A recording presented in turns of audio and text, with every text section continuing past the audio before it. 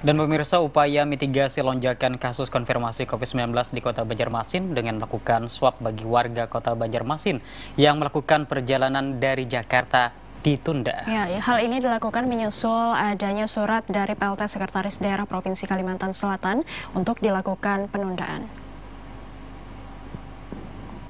Pemerintah Kota Banjarmasin terus melakukan upaya untuk menekan angka terkonfirmasi COVID-19 bagi warganya. Salah satunya dengan melakukan swab bagi warganya yang bepergian dari Jakarta di Bandara Samsudinur, Banjarmasin. Juru bicara tim gugus tugas percepatan penanganan COVID-19, Mahli Riyadi mengatakan, swab bagi warga yang datang dari Jakarta ini menyusul tingginya angka penyebaran COVID-19 di DKI Jakarta. Pihaknya tidak ingin warga yang bepergian ke Jakarta Jakarta tertular COVID-19 dan sekembalinya ke daerah menularkannya. Sehingga tindakan swab dinilai efektif untuk memutus mata rantai penyebaran COVID-19, terutama di kota Banjarmasin yang mulai menunjukkan zona hijau.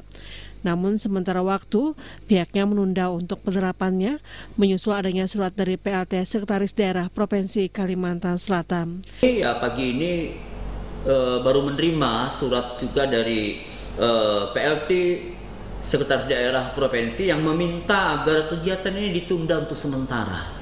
Sesuai dengan arahan Bapak Wali Kota agar kita mengikuti uh, surat dari PLT Sekda provinsi ini untuk menunda sementara sehingga upaya ini akan kita uh, hentikan sementara ya mudah-mudahan nanti ada uh, ada sepakat lagi kata untuk uh, meneruskan eh, upaya-upaya uh, ini.